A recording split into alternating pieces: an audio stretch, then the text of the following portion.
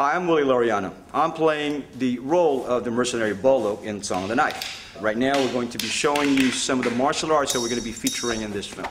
Thank you very much.